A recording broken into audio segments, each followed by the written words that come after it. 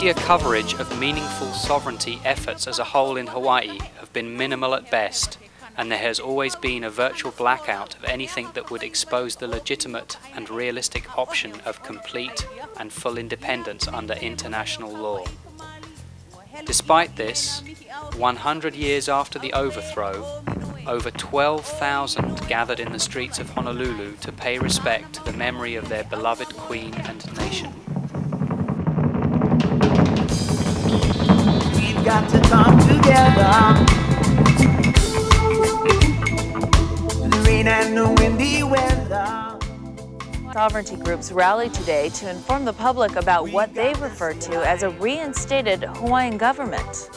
Notifying the uh, de facto government of the state of Hawaii that the lawful government is in place. It has been 107 years since this lawful government yeah, has stood up and said to everybody, listen, uh, we are the proper political authority.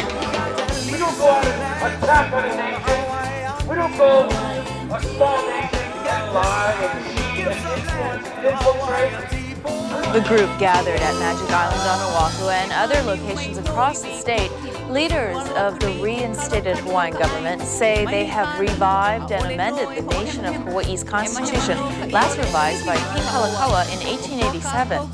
We humbly ask all of you who are listening to educate yourselves about international public law and the law of nations.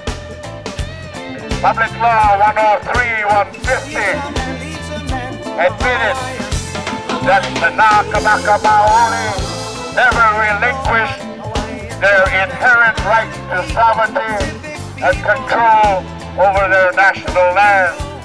They claim through international public law they have the right to reinstate the Hawaiian government, which was overthrown more than 100 years ago. Tonight, we are the nation of Hawaii. We do not ask for recognition. We do not beg and plead. The group opposed the Akaka bill because the members claim the nation of Hawaii is already sovereign.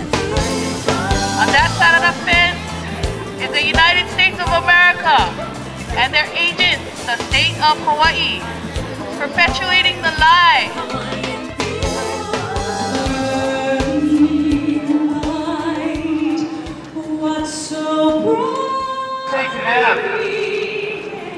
Yeah.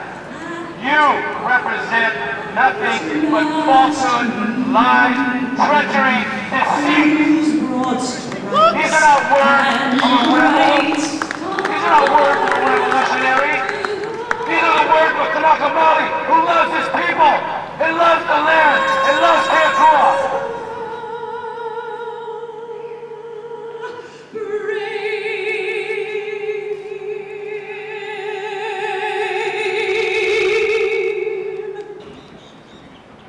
Everybody talking for years now. Talking and talking. We have our own people sworn in by the United States, the state of Hawaii, the county, our own people leading you astray.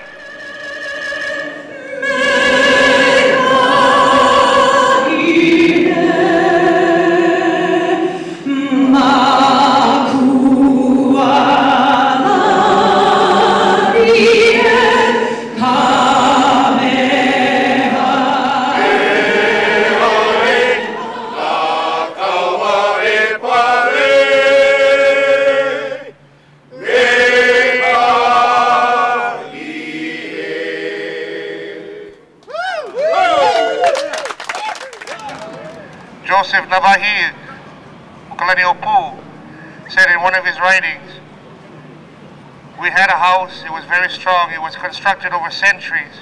It's our birthright. And today we find ourselves outside of that house, living in a lay stand constructed by somebody else. Educate yourselves, people, for we are back. Mahalo nui.